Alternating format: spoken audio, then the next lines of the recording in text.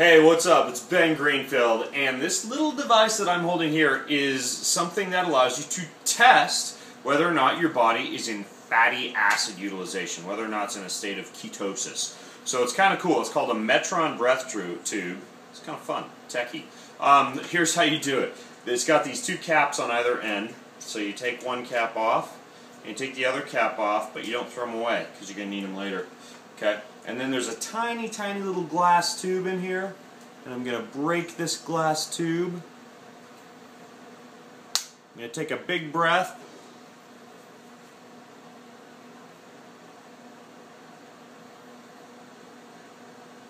I got to blow for 30 seconds.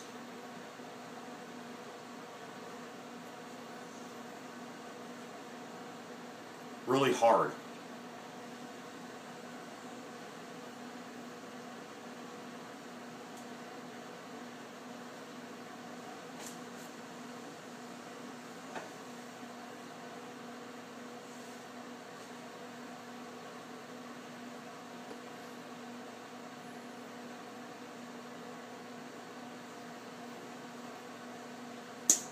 Okay, that'll be good. Now, next thing I want to do is put the caps back on, okay?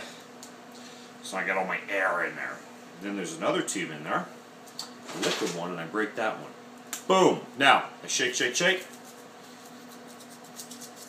Uh, see, it's kind of, you get a lot of exercise when you're testing your ketones using these Metron breath tubes.